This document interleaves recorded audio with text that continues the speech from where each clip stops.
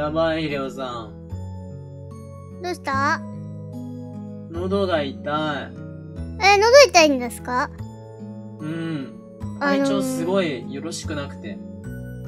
えー、体調悪いんですか？うん。助けてほしい。う んじゃあ、あのー、その前にこの距離感なんですか？ね笑わさないで体調だ悪いから。って距離感がなんか、咳出るしさ、うんなんか頭痛するんだよね。えー、風邪ですか？か、風邪なのかな？感染症かわかんないけど。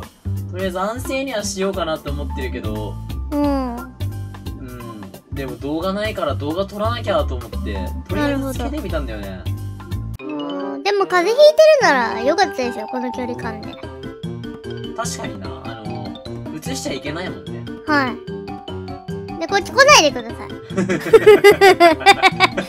なちゃんマスクしてないんですから、あっち行ってくだあさい。、ほんとだ。確かに。今の時代、そうだよね、ご時世は。そうで風邪とかひいてたらね、あんまこうやって近づいちゃダメだもん。す。ダメですあれ？よ。ヒデオさんが俺から避けてくる。ヒデオさん。ねえ、やだ。あの、嘘ダメ来ないで。心配はしてるんですけど、来ないでくださ本当に？い。はい。心配はしてるんですよ。本当に心配してるかなはい、心配してますよ。見守ってるんで。今、見守ってる？はい。見守ってんな。見守ってんですよ。心配はしてんですよ。でも近く来てくれないじゃん。それは嫌ですよ。なんで？だって映ったらどうしちゃってくれちゃうんですかあー、ヒデオさん。あっち行ってほしいんですけど。ね、やっぱ、そうだよね、ここの距離ね。はい。せめてこっち向いてよ。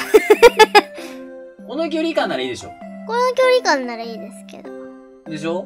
はい。今走ったせいで、なんか体調悪くなってきたわ。頭痛くなってきた。あの、お大事に。はい。はい。あのー、お布団に入って寝てください。みんなはね、あのー、風邪ひいてる人の近くに来ないように気をつけてください。